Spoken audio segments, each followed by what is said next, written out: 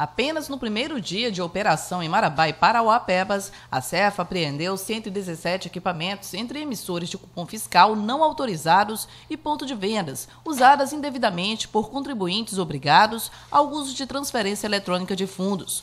É que os contribuintes devem utilizar o sistema informatizado, que garante a emissão de cupom fiscal sempre que houver venda por meio de cartão de crédito ou débito, como explica o coordenador regional da Cefa em Marabá, Luiz Guilherme. A máquina de cartão de crédito e débito, que chamamos de POS, elas têm que estar acopladas ao emissor de cupom fiscal, que seria uma nota fiscal de venda ao consumidor, tá?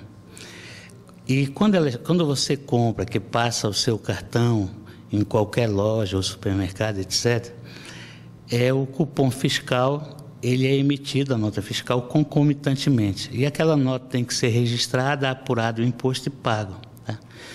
Quando, e quando não acontece essa observação à legislação, o, só, só, o comprovante do cartão ele não garante à Secretaria da Fazenda o pagamento do tributo, embora as operadoras remetam é, arquivos com o montante das vendas. Então a Cefa, é, diante desses dados em Belém, ela verifica quem não está cumprindo até para combater a deslealdade né, em relação ao, aos que estão cumprindo. Né? O objetivo da operação é coibir ao máximo a sonegação de impostos. É para evitar uma evasão fiscal, a evasão fiscal, tá? que prejudica o erário estadual e de tabela o erário estadual na cota dos repasses, etc.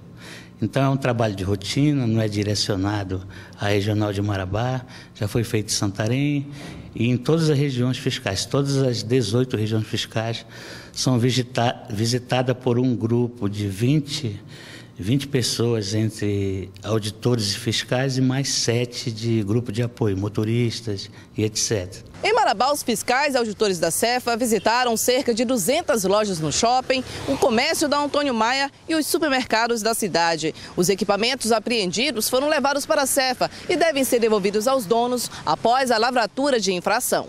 As máquinas até o presente momento elas vão ficar retidas, tá?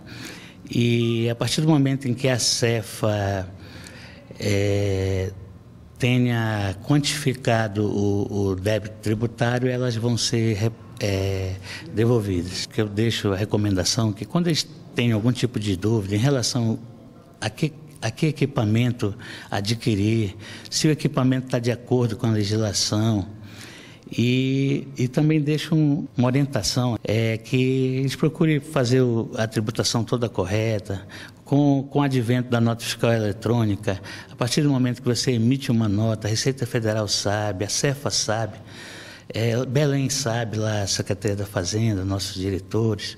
Então, o, a coisa está muito transparente. Então, para que a pessoa não seja futuramente surpreendida com um alto é, elevado que possa lhe causar transtorno, é melhor a pessoa tentar se adequar às legislações que, que estão em vigor no país. Tá? E a nota fiscal eletrônica, o SPID fiscal, está aí para mostrar a transparência das operações.